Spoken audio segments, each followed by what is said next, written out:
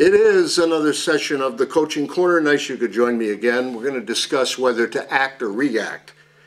What is the difference between acting and reacting? You know, if somebody says about you when you go to work or an audition, well, I liked him, her, but she looks, he looks like he was acting. That's not a compliment. So what exactly does that mean when, when we say you're acting?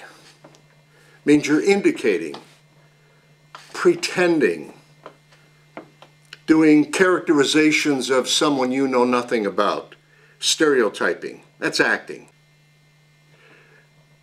Now, where does that come from? You know, it comes from the intellect. It's, it's cerebral. So if you are intellectual in your acting, using logic and reasoning, you manipulate behavior which there is no such thing. It's either real behavior or it's manipulation of behavior, fake. Then that's a problem for you. Acting. What causes it? A rationalization of you, the part, the script, all of it together is what causes it. You become logical. All right, what's the first thing you see with? You say your eyes. Well, actually, not your eyes, your brain. And we as human beings, which of course separates us from the animal world and not the only thing, I hope, is the fact that we can reason. We have the ability to reason. So when we look at a script or dialogue, we internalize intellectually first before it goes back to our subconscious. So in that regard, when we look at dialogue, we're already seeing the scene. It's like a movie's playing through your head once you go up to do it. Because you logically, rationally, envision what's happening in the scene before it ever happens. And you, of course, you don't want that. If you're a person that uses uh, words like moment, react, behavior, then that's not your kind of acting to work logically, cerebrally. Well, where does it come from? See, if you're going to work intellectually, you're going to be a mechanic. It's not the mechanic's entrance at CBS, it's the artist's entrance. So what is, exactly does it mean to be an artist? Well, you're working uh, viscerally. So let's go back for a moment cerebrally, intellectual, mechanical, rational, logical. You act, you pretend. Because there is nothing in your intellect that has to do with impulses, instincts, and emotion. Where is that? That's in your visceral being, which is where art lives. And you say, well, what, what do you mean art, RJ? Well, it's simple. Why do they call us artists? Because we are visionary. Uh, creativity means that you're doing things that nobody else in the world can do. You see things that nobody else sees. Color blue, red, what a kiss feels like. So in that regard, uh, we are visionary artistic because we're using the best part of our imagination, which comes from the subconscious. Emotion, behavior, impulses are all living in the subconscious. How do you get to it? Well, that's probably one of the reasons why the Meisner technique is so uh, hailed as the wonderful exercise that it is because it, it was based on, on getting one actor to concentrate on another to get your mind off of yourself. What does that mean? You're getting your logical, rational, intellectual mind away from yourself and on to your partner, which leaves you with, voila, the subconscious, your visceral being. So now you're interacting with the other actor and not aware intellectually of how you're doing a scene. The movie's not playing. You're just reacting. And that's where all the surprises are because your impulses live there. Your instincts live there. Now, this character, this is an actor who's very heady. You see a big head. He's a very heady actor. Acts from his intellect. So if you get another actor who works the same way, what you get is you get two actors acting at each other instead of with each other, moment to moment.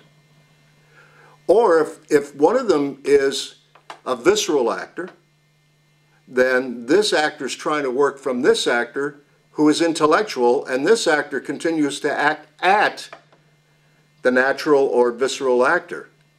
And so that doesn't quite work out. What you need is two actors who are visceral actors, concentrating on one another and working in the moment, which is the best place to be, right, guys? Of course, in the moment. So a lot of actors just use that word as a kind of a cliche. I work in the moment with the other. And you say, well, what does that mean? And they really don't explain it in a way that makes any sense either to you or to them. It's just a word. It's a word they picked up. I work in the moment. Makes you sound very artiste. But in reality, uh, this whole process of working viscerally is where your genius lives in your subconscious, your emotions, behavior. And that's what gives you this wonderful individuality, the artist that work. If you're going to be a thinker, you're going to be a stinker. No question about it. Think your way through your acting, play that movie in your head at the other actor. You're always going to be a bad actor. I don't care what anyone wants to call that drama. It's not drama. I mean, if you put on something that you're not, you lose depth and definition in the character. When you're true to yourself, then you are defining the character on the screen, at least to the audience. Best thing you've got is you. If you don't use that, what have you got? Imitating other thing? It's not art imitating art. It's life imitating life. We're living real life. It's, it's fine art in real life situations. That's what we do as actors. So this whole process of the creative source of what you are, remember your self-worth as an actor is in who and what you are as a human being, but what you do as an actor is based on what the other actor does to you, moment to moment to moment to moment to moment, on each take. On each take, you'll do a little something different because of what your partner's doing. Right? Of course. What you do creatively is based on your psychological makeup as a human being. That's what gives you that individuality that separates you from anyone else in the entire world.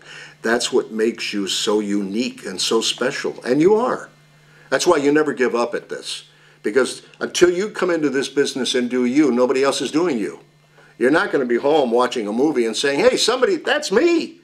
Who took that part? No, until you step up and do the part, it doesn't exist. You is what makes it happen. Now, what about this whole idea of the psychological makeup of you as a human being? It relates to the creative process.